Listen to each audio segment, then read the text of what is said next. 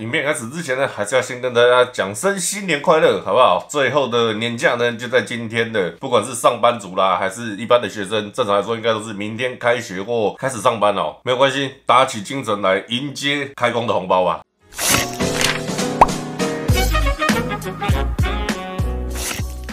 其实，在创立这个频道、跟粉丝专业还有 IG 等等的哦，一直以来都有很多人会私信过来询问罗卡，哎，到底怎么样购买东西会比较便宜？当然，这可能是买游戏、买周边，或者是买主机等等的哦。甚至呢，有些人会到很多不同的地区，就是不同的国家来询问罗卡，说：“哎，那我在日本、在美国、在欧洲的哪一些国家呢？购买这个 Switch 跟周边，到底会不会比较便宜哦？”今天呢，不是要针对这个问题来做一个回复，今天来分享的这个主题呢，叫做机会成本的一个概念。那希望呢，以自己。比较简白的方式来去跟大家稍微分享一下这个机会成本的概念。如果说呢，对于这个概念有多一点点的认识的话啦，其实买东西哦，怎么样可以买到最便宜，相信会有不太一样的见解。那么，如果喜欢这样子的一个系列的话，也欢迎订阅一下罗卡奥 C C A 的频道，追踪 F B 跟 I G。那我们今天的主题呢，就开始吧。讲到如何要来买到便宜的东西哦，最近有一款游戏，不知道大家有没有在 follow？这款游戏呢，其实出了有一点久了，六年以上了，但是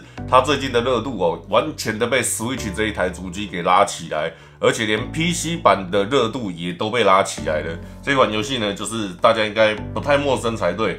暗黑破坏神三》哦，那这款游戏呢，为什么拿来当今天开头的一个素材来讲哦？其实最主要是因为这款游戏啦，在前阵子呢，罗卡有一个好朋友叫迪亚，然后这个迪亚呢跑去电玩店买了这一片游戏，他当时买回家之后呢，就询问我这一片游戏买了多少钱，那我说记得是一千多块，绝对不超过两千。这位朋友就跟我说啊。怎么办？好像有点被坑嘞，因为我买了两千多块，结果后来发现哦，这个两千多块并不是单一商家的问题，甚至连国外的商家呢也都有涨价。另外呢，还有一些网络上的平面媒体哦，直接有报道到。买《暗黑破坏神三》居然可以做投资，好，当然这个话题哦，听起来就会觉得说，哇，那如果早买的是不是就赚到了？以前在刚买的时候啦，不太确认有没有牙版会出现，然后它才支援中文版。后来在证实推出中文版之后啊，其实《暗黑破坏神三》就突然有一种被一扫而空的感觉。再加上呢，它似乎是所有的版本都可以进行更新，而且呢，连中文语言包都可以做更新下载哦，也让这款《暗黑破坏神三》呢整个声势大涨哦，真的是非常的。恐怖，包括这位朋友的频道呢，他的直播人数哦都上看两百人哦，这个算是真的非常特别。为什么要讲到这一片呢？现在还是要讲一下它的重点，拉回一下主题。主要呢还是因为买游戏或者买主机到底有没有办法投资赚钱，这个是针对网络上面这一篇平面新闻要来讨论的地方。其实哦，这个真的是有一点难度的。像以前罗卡有在玩乐高啊，就拿有一套叫死心的来讲好了。这套死心呢，在当初还没有绝版之前是一万上下就可以买到，但是呢，一等到绝版之后，哇，上看两万五到三万。可能很多人会觉得说，哇，那我就把所有的存款拿去买这样东西就好了啊。这样子应该就可以赚饱饱了啊！又或者说像暗黑破坏神三会涨价，那我就先去买一堆暗黑破坏神三，再来转手卖，这样子就可以赚饱饱啦。但是哦，这种机会哦比较少一点，所以如果真的是买便宜哦，或者是要赚钱，这个的难度是比较高一点。所谓的机会成本呢，里面要涵盖了时间成本跟隐形成本等等的。那这些东西呢，其实有一点白话文，也就是说呢，我们的时间就是金钱。这句话相信大家都听过。但是呢，真的要把时间当成金钱的人呢，应该比较少一点，因为我们很容易就是会有点迷失。像某一些吃的可能爆红之后，就像前阵子的霸王事件，它突然爆红了之后呢，其实我们花了可能半小时甚至一两个小时在做排队的时候啊。就会发现这一碗霸王虽然价格不变，但是我们去排队的成本变高了。嗯，它不是价格不变吗？怎么会变贵呢？这个是什么样的逻辑？原本我们去吃的时候可能不需要排队，直接就可以进去里面吃它的霸王。后来因为爆红之后，我们可能要花半个小时、一个小时去排队。那大家想一下，如果转换成一个最低的时薪，假设一百五十块好了，半小时就是有七十五块的成本。也就是说呢，我们半小时花了七十五块钱去多排了这个队，那有一些人就会讲的，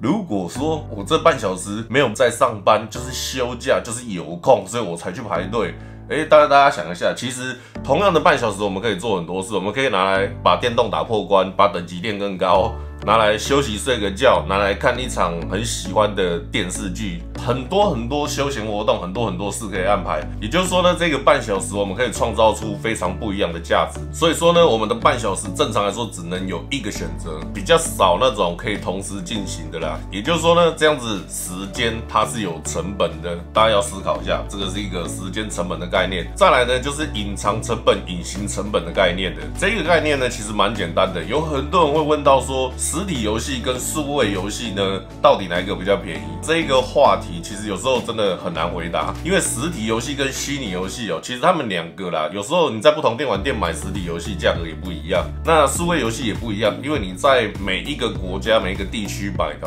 价格可能也不尽相同啦，所以这两个真的是有点难以回答。不过呢，假设我们把它抓成一样的价格好了，今天假设我们要买《暗黑破坏神三》实体是两千块，数位版的我们可能会发现，哇，它只要。一千九百块，这时候呢，大家就会看到一个价差出现了，因为两千扣掉一千九，我们会省下一百块，所以买数位版似乎比较便宜。但是呢，第二个问题就来了，因为呢，安装 i p o s 假设我们要二十 GB 好了，那我们要不要买一张记忆卡？买这张记忆卡要多少钱？假设我们买一张一二八 G 的记忆卡，那买五百块好了，其中的二十 G 占了六分之一左右，也就是说呢，我们要把五百块扣掉六分之一，里面算出来的价格呢，大概是。九十块上下吧，所以呢，等于还是便宜的十块钱左右。这个时候呢，我们才是看到了它比较接近于真正的真实成本的价格。当然，这都是一个比喻的状态来。这块呢，相信大家都还会去讲到实体的，它有一个好处就是可以分享二手。那这一块呢，就暂时不讨论，因为我们今天就是要比较它的成本。接下来要再举一个例子哦，也是要来讲到时间成本的概念。这个时间成本的概念呢，其实有很多人会讲到。那我要买游戏呢，要到哪一边的电玩店去？如果说有询问过罗卡这个问题的，正常来说都会得到一个离家近一点、觉得 OK 的电玩店就可以了。为什么呢？可能我们千里迢迢的跑到一间电玩店去啦，也许这一台电玩主机加所有的周边配备加游戏哦，便宜个五百块好了。可能花了多少时间搭车通勤，再来是里面的车钱花了多少钱，走了多少路，让我们少玩了多少时间。有的人可能骑摩托车，有的人可能开车。有的人可能坐捷运，有的人可能坐公车，有的人当然可能是给爸爸妈妈载，或者是坐机人车之类的。每一个人的交通方式哦，都会出现不一样的隐形成本。那当然，时间成本也是一个很重要的概念，因为我们可能会花很多的时间跑到这一间电玩店去购买回来呢，就会发现哇，而且这个不是一次性的。如果今天遇到一个小小的 Jerry Con 的问题的话，那我们又想要回去问，这个时候就真的是比较麻烦一点的，因为会有第二次的高成本出现。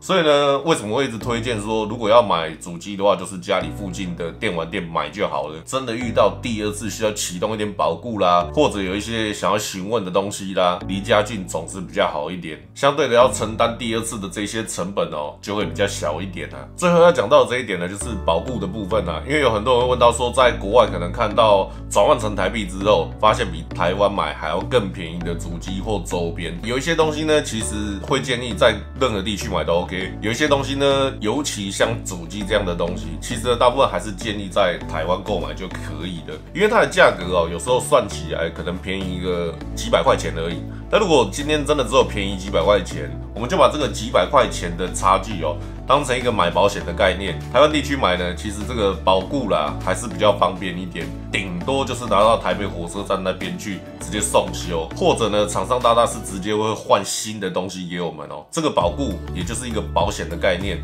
算是非常非常的棒。假设便宜五百好了，我们在某个地区买呢，便宜了五百块钱的 Switch 主机，那这五百块我们把它转换成买保险的概念，在台湾购买，诶，O 不 OK？那这个部分呢，之后罗卡会到国外去帮大家呢，实际的去找找看有没有什么便宜超值的地方，甚至呢，像 Amiibo 或者是一些周边的游戏、周边的商品等等的。那去帮大家挖宝一下，这个系列呢也会在之后来推出，也期待大家呢能够锁定一下我的频道，之后呢会有这个国外跟国内的一些差异，或者呢会到某一些地方去寻宝。那如果说呢原本就住在国外，或者是原本就常跑国外，对国外很了解的。不管是世界什么国家哦，直接就把这样子的一些资讯可以提供给洛卡。那可以的状况之下呢，一定就会尽量来去拍这些影片分享给大家。好了，那最后呢，就是今天的重点就是要分享给大家一个机会成本的概念，不管是时间成本还是隐形成本哦，希望大家呢都可以对它有一点小小的概念存在啦。毕竟这两个成本哦，其实是看不到，但是却很重要的成本。这两个成本呢，也会影响到我们买的东西呢，到底是不是真正的便宜。所以呢，今天的分享就差不多到这这就结束啦。喜欢我的影片的，记得在下面留言并且分享，也别忘记订阅我的 YouTube 频道。我是罗卡，我们下次见，拜。